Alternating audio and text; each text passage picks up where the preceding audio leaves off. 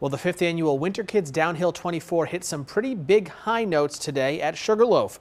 More than 400 people uh, on 30 teams came out for the event, skiing 24 hours straight, raising more than, get this, $270,000.